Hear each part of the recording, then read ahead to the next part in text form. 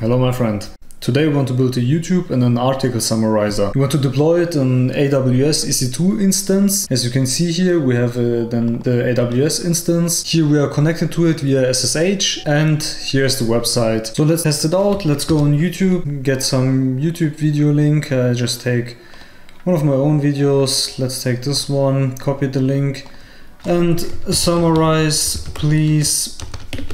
So why would we need such a summarizer? Well, because there are a lot of YouTube videos out there, there are a lot of online articles out there, and especially when you might read some online articles where the half of it is just some advertisement, but you want some specific information, and that's why we need it, because you can't read it all, you can't see it all. You can also ask some specific question. Let's say you have an online article and you just want one sentence of information actually, but you would have to read the whole article, and that's why we need the summarizers. Stay tuned, that's what we're going to build today, also with the deployment on AWS, so have fun watching. Let's start by cloning my Streamlit repository on GitHub. You can also download it via zip, but I'm just going to clone it. And then you want to go into it and open it in your choice IDE. We need some extra requirements, YouTube transcript API and Beautiful Soup 4.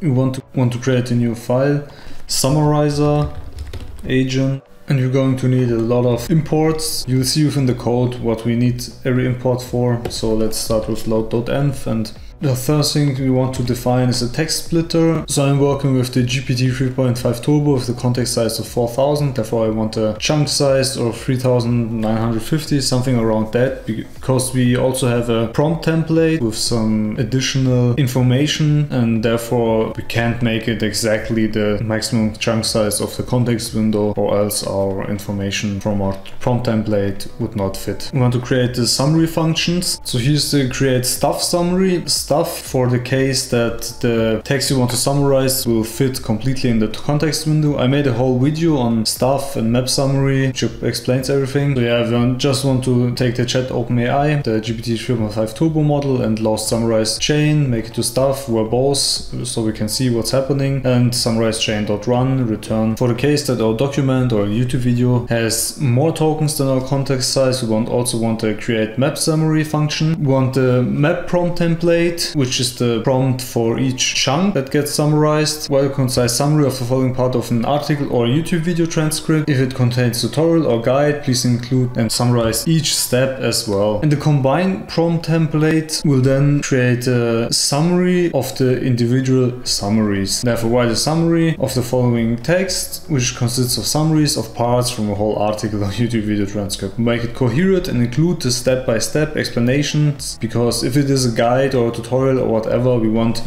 every step to be included in the whole summary. And again, we load the summarized chain and here with the chain type map reduce and the prompt template. Okay, here's the create summary function where the documents get inputted. If it's more than one document, we can run the create map summary. And if it's only one document, we can run the create su stuff summary as we explained. Okay, and then return the output. Now we want to define the actual tools. So in the previous video I already explained how it works, but we want to have the tool decorator and we need a description what this tool does so the agent knows when to work with this tool. So yeah, it's useful if you want to get a summary of YouTube video and applies if the user sends a YouTube link. And what we're doing here, so if we go to YouTube, each video will have the YouTube ID after the equals sign. You want to split it at the equal sign. and One gets the second element in a list and there we have the YouTube ID. Yeah, the splitter will be our text splitter, which we, we defined here above. The YouTube loader has to be initialized with the video ID, and then we can run the load and split function. We want to give it the, the text splitter we defined before, and then it will return the documents. So there will either be one document if it fits into the 3950 chunk size, or multiple document if it's larger than that. Then we want to call the create summary we defined here on the documents and return the final summary. And also what's important by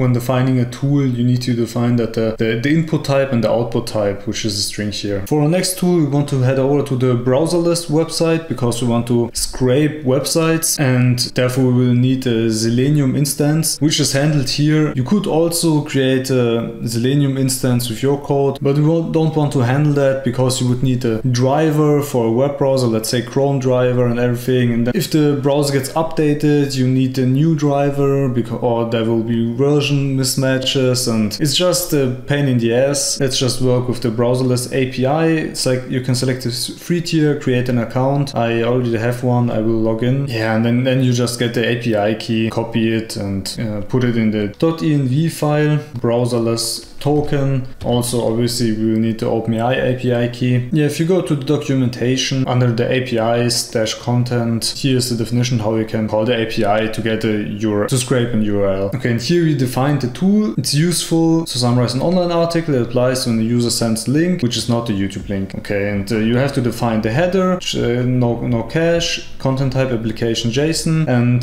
then we just get the browserless content link, put the token into it, and then we just want to make a post request to the URL with the header and with the JSON data, which is just a URL link. Okay, and if it works, if the status code is 200, we want to call beautiful soup with an HTML parser and make the get text function. It will get the complete text from the HTML website and remove all HTML text. Then we want to call the create docs function, which we have to define it seems.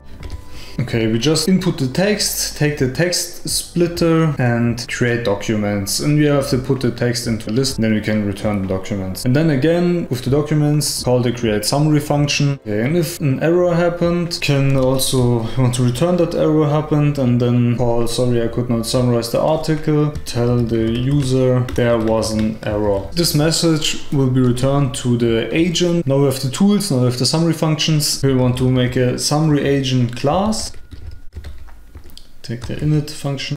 Okay, in the init function, we want to create a LLM again, chat OpenAI, and we want a conversation summary buffer memory. This will summarize older messages to a maximum of 1000 tokens because every call to the OpenAI API costs us some money, therefore we want to reduce the amount of tokens. The system message for the agent, you are a world-class summarizer and you produce concise but full summaries of any topic based on YouTube links or web article links. The user will give you the links or question, or the user will give you a link with additional questions. You can also give a link and then define the questions right away in the same prompt. And if it's a link, you decide which tool to use to produce the summary and then return the summary. So the agent just has to return the summary because the tools will, uh, which we defined will already create the summaries. Yeah, and therefore you just have to return the summary and also pro provide helpful and concise answers to question if the user gave some questions. And we want to define some agent keyword arguments. The extra prompt messages will be the memory and the system message. So what the extra prompt message does, we're working with the OpenAI functions agent here. And the OpenAI functions agents will call the function create create prompt. In the create prompt, the extra prompt message will place the extra prompt between the system message and the new human message. If you saw basic prompts in the past, you usually have the system message, what the agent does or uh, the LLM does, the chain does, whatever. Then there between will be the chat history and then this new human input. And basically that's what's happening here. Okay, and the tools we want to define as a list the summarized YouTube video and also the summarized article tool. And then we want to call the initialized agent function given the tools, the LLM, the agent type OpenAI functions, which is perfect if you want to call some functions and the tools are basically functions. Verbose true and give them the agent kwargs and also the memory which we defined here. Okay, now let's define the summarize function which takes, takes in the query. We want with OpenAI callback, we want to run with OpenAI callback, makes it possible to track the token usage and the US dollar cost. And then within the callback, we want to call the cell, the agent, which we defined in the initialize slash function and just make run. Yeah,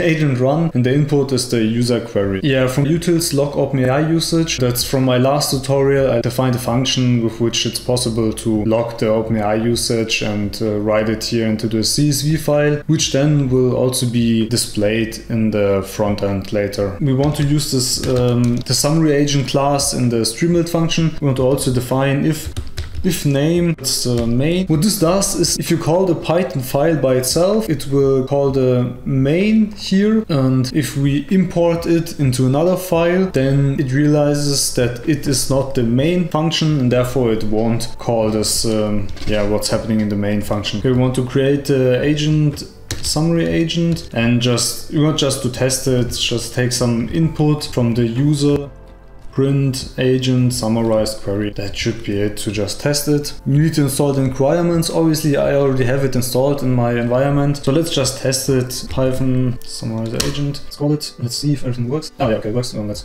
maybe it's content input or something.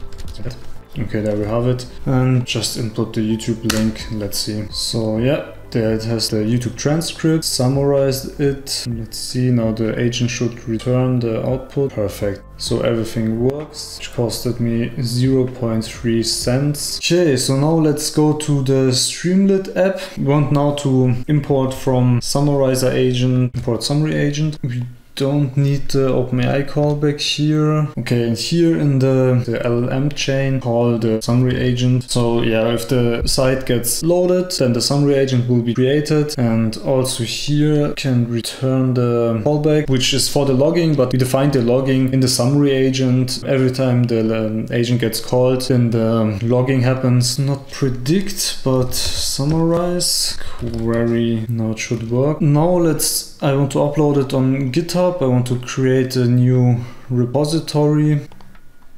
YouTube and article summarizer. Create repository. We want to commit everything except for this one. New repository. Okay, we first have to call git remote remove origin. Git remote remove origin. Now we can add the new origin. Should be it push. I have to sign up. Okay, let's see.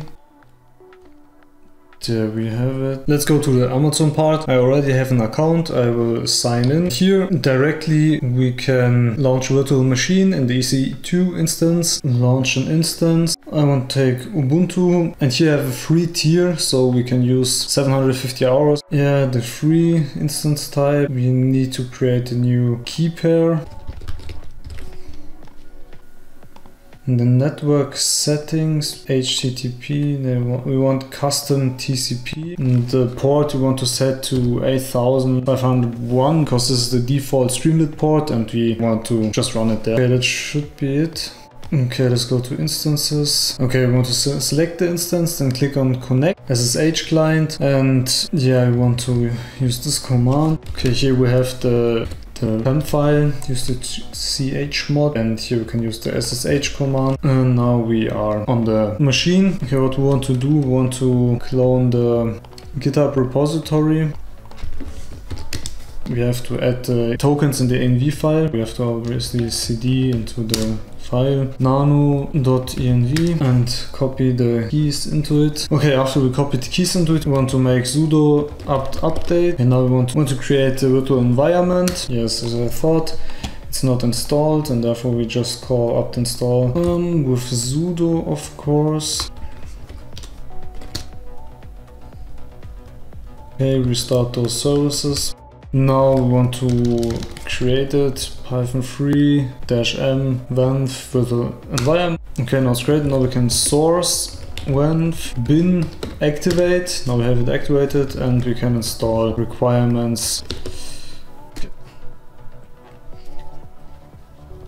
Okay, now we want to call screen with screen, it spawns a terminal instance which we can detach from and when we close the terminal, it will run in the background. If we don't do this, then the Python command will run and if we close the terminal, then the Python command will stop and therefore we have to spawn the instance and yeah, we have to source the virtual environment again here.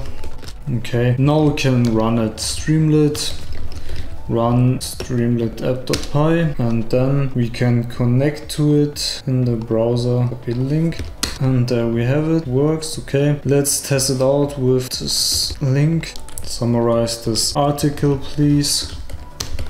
Actually you could just post in the link. It would be enough because we told the model that it should this use if a link comes so it's not necessary to write summarize article as well. And there we have it. Our application running on an AWS instance. Thank you for watching. There are a lot more possibilities with the AWS. So let me know in the comments if you should explore more of them. Leave a like, leave a subscribe and see you in the next video.